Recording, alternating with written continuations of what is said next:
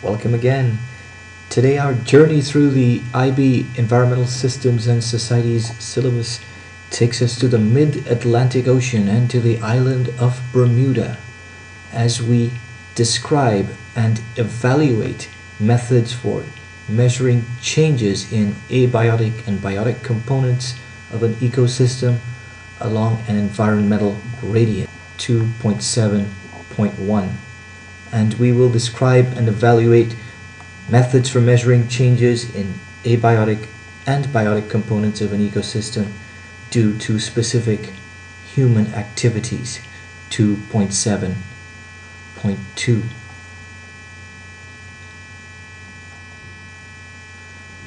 Consider this task to determine the abundance, diversity, and distribution of barnacles in the intertidal zone. What is this intertidal zone? It's also referred to as the littoral zone, and it's that area that gets covered over when there's high tide, and that area that gets exposed when there's low tide. And the space between those two points. That is termed the intertidal zone, which goes from one point to another point and has different abiotic conditions where moisture and sunlight vary throughout the day. That is referred to as an environmental gradient, where over space of A to B, there is a change in abiotic factors. But this gradient can also refer to a change in abiotic factors over time.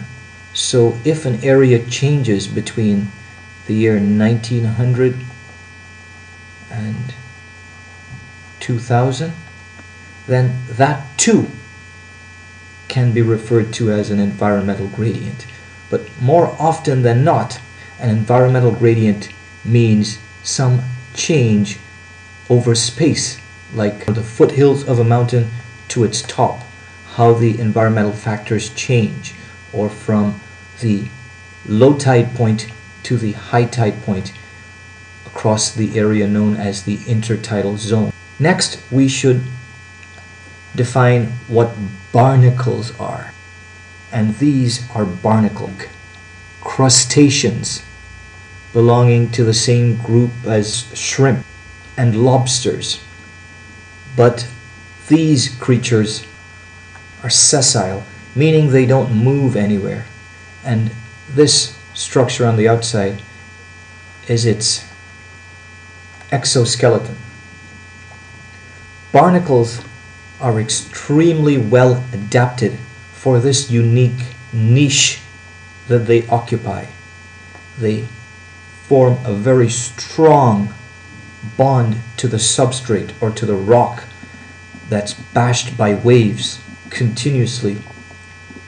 They have protection for drying or desiccation from the harsh sunlight. And when the high tide comes up, they extend special tentacle like structures and they feed on algae in the salt water. These creatures here are limpets and they feed on the larvae of the barnacles. Other predators of barnacles include creatures like whelks, which are sea snails, and starfish. Let's return now to our original task. The southern shore of the island of Bermuda in the mid Atlantic Ocean.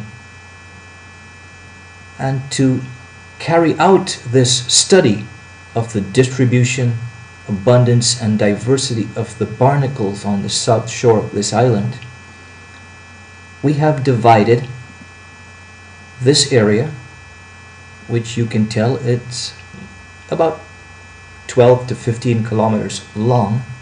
We have divided that area into 12 zones and we are going into each of the 12 zones and subdividing the zones into smaller sections. So each kilometer is then subdivided into 10 meter sections. And each of those subsections will be numbered 1 through 100 because there are 100 10 meter sections in 1 kilometer.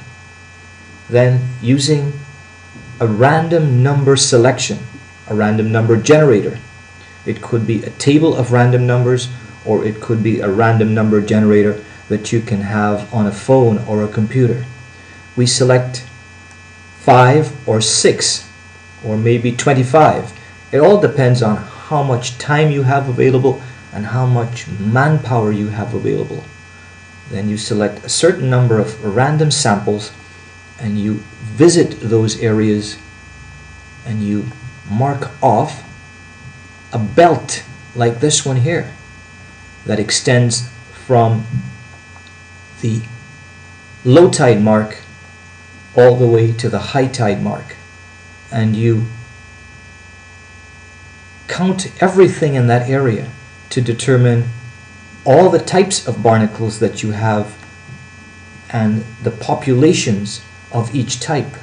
And when you have the population of each type of barnacle and all of the different types of barnacles that you have, you are able to determine the abundance or the amount of each species, all the different types of barnacles that you have, the diversity, and where do you find each type of barnacle in relation to the intertidal zone? Do you find them at the low tide mark or at the high tide mark?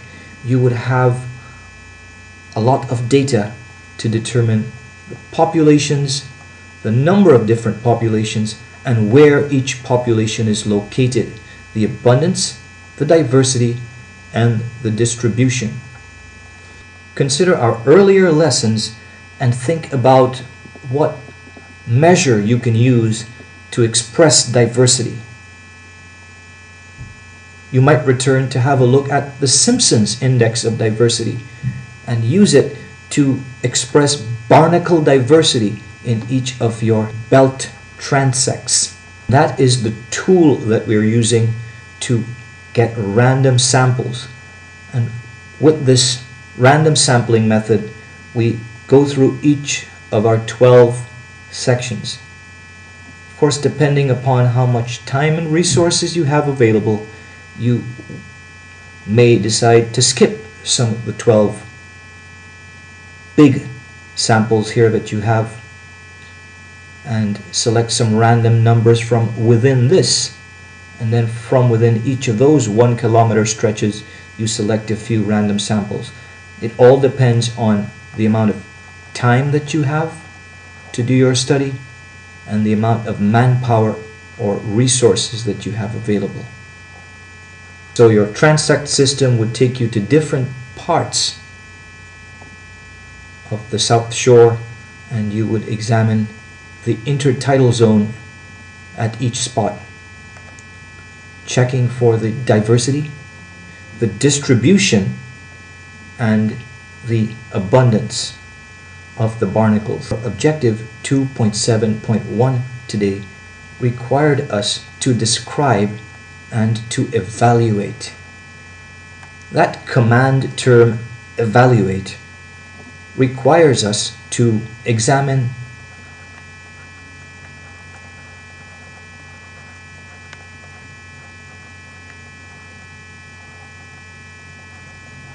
to think about some strengths of my method, at least three strengths and at least two weaknesses.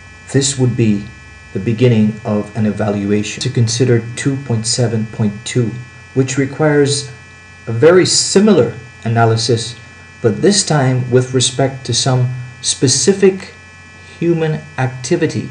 Ocean acidification. The Bermuda Reef Platform is the center of studies in this particular field, and it provides us with an excellent example of how a human activity, which is the use of fossil fuels over the last 100 years, especially, which has released large amounts of carbon dioxide into the air, and how this increase in carbon dioxide over the 20th century and continuing into the 21st century, how this increase in carbon dioxide is now impacting the amount of carbon dioxide that enters the ocean. And that in turn is affecting the acid base balance or the pH, making the ocean more acidic. It takes out carbonate ions from the water, and this results in degradation or the eating away of any organisms that have calcium carbonate. And of course, the most widely known organism, the most widely distributed organism in the ocean that has calcium carbonate is the coral.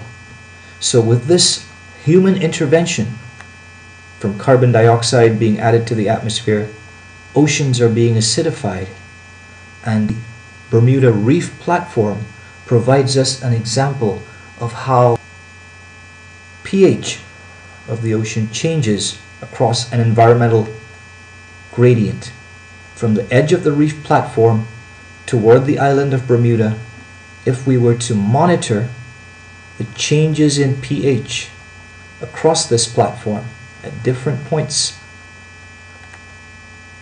using an imaginary line and have several imaginary lines, then we would be using the line transect method to study an abiotic factor across an environmental gradient. There are changes in the acidity across the coral reef platform. A method of monitoring this abiotic factor across an environmental gradient. And if at the same time we were to monitor the health of the coral at different points on the reef, then we would also be keeping track of a biotic factor. And if we study things within a belt across an environmental gradient, then we use a belt transect. If we study everything within the belt transect, then we have a complete belt transect, or if we study areas at intervals then we would have an interrupted belt transect. What tools are available for us to measure the pH? This is the kind of tool that's used by NOAA, America's National Oceanic and Atmospheric Administration. And these buoys are set out into the ocean at different points, tracking things like pH, and temperature of the ocean and salinity and conductivity. And they're not only able to give us changes in abiotic factors over distance, but they are able to give us changes over time. With devices like this, able to give you readings of the pH every 30 minutes. This enables scientists to track environmental gradients in two ways over space and over time. For complete discussion of the Bermuda Platform Ocean Acidification case study, I would like you to visit the NBC learn.com site. Finally, I would like you to describe and evaluate a method for documenting changes in vegetation and temperature along a 3 kilometer by 5 kilometer hillside. And here is a hint for you.